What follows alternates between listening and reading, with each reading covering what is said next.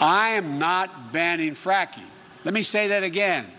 I am not banning fracking, no matter how many times Donald Trump lies about me. Like, what about, say, stopping fracking and stopping new pipe? I am not banning fracking, no matter how many times Donald Trump lies about me. There's no question I'm in favor of banning fracking.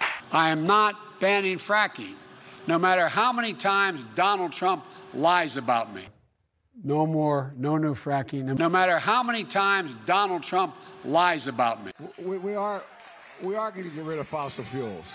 No matter how many times Donald Trump lies about me.